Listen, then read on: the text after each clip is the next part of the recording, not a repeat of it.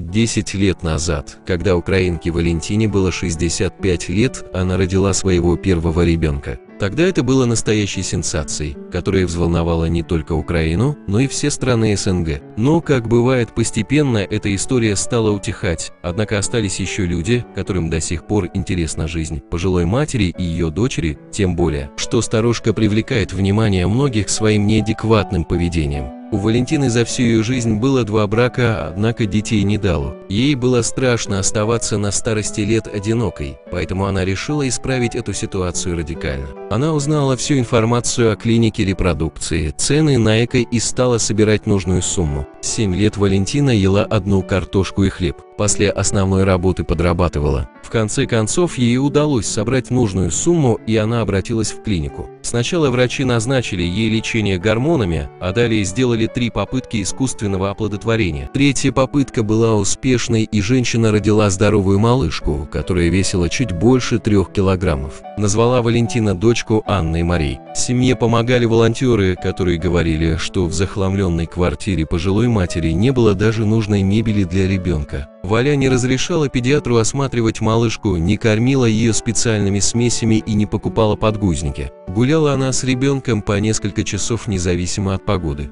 Когда пришло отдавать дочку в детский сад, то Валентина этого не сделала. Также девочка носила одежду, не соответствующую погоде и сезону. До сих пор мама запрещает Анне Марии общаться со сверстниками, так как они могут ее научить плохим вещам. Работники социальной службы по опеке уже несколько раз наведывались к ней с проверками, даже делали попытку лишить ее родительских прав. Но так и не нашли для этого особо веских причин. Соседи рассказывали о вульгарном поведении Валентины, но при этом они не сомневались в ее любви к дочке. Некоторое время женщину подозревали в попрошайничестве, к которому она привлекала дочку, но это не смогли подтвердить. Девочка вовремя пошла в школу. Сначала учителя боялись за девочку в плане социальной адаптации и успеваемости, но она быстро смогла освоиться и хорошо проявила себя в учебе. Женщина сначала хотела находиться в классе возле дочери на уроках, но учителям удалось отговорить ее от этого. Женщина поделилась в одном из интервью, что ее мечта иметь свою дачу, на которой она сможет посадить яблоню для дочки, а также мечтает о мужчине, который поможет ей воспитывать Анну Марию.